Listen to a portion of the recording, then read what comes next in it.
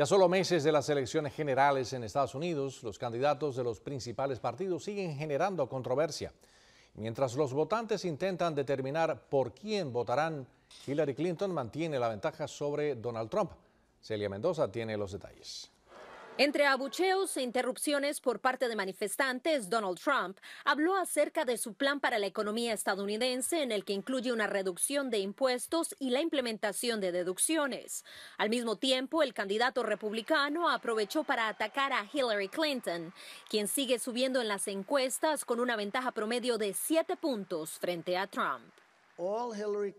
Todo lo que Hillary Clinton tiene para ofrecer es más de lo mismo, más impuestos, más regulaciones más burocracia, más restricciones en energía estadounidense y producción en los Estados Unidos. A pesar de la ventaja obtenida por Clinton en las encuestas, su credibilidad sigue siendo cuestionada, en especial tras afirmar que había sufrido un cortocircuito al hablar acerca de sus declaraciones a los estadounidenses en torno a los correos electrónicos por los que fue investigada por el FBI.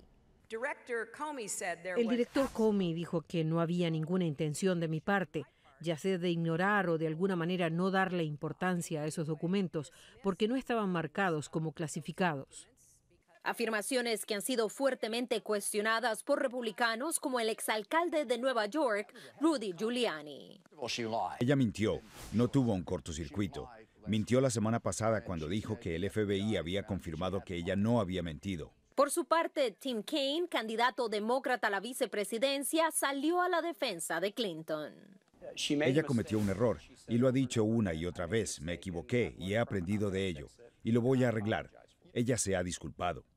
Esto mientras un grupo de republicanos anti-Trump ha logrado que Evan McMullen, ex empleado de la CIA, entrara este lunes oficialmente en la contienda por la Casa Blanca. Celia Mendoza, Voz de América, Nueva York.